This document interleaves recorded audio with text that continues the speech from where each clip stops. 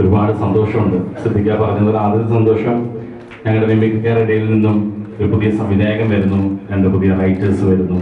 മൂന്ന് പേരും എനിക്ക് ഏറെ പ്രിയപ്പെട്ടവരാണ്.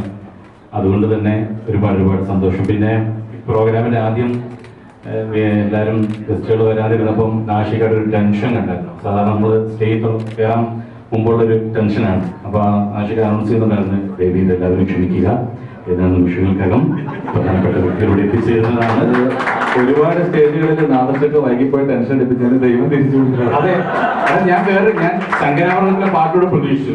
എല്ലാ സ്റ്റേജിലും ആദ്യമാണല്ലോ എന്തായാലും നമ്മൾ അങ്ങനെ ടെൻഷൻ അടിച്ചിട്ടുള്ള വേദികളിലെ പ്രോഗ്രാമുകളെല്ലാം ദൈവം നന്നാക്കി തന്നിട്ടുണ്ട്. അപ്പൊ ഇന്നത്തെ ഈ ടെൻഷൻ അടിയിലും നമ്മുടെ ഈ സിനിമയും ദൈവം നന്നാക്കുമെന്ന് നമുക്ക് എല്ലാവർക്കും വിശ്വസിക്കാൻ വേണ്ടി പ്രാർത്ഥിക്കാം.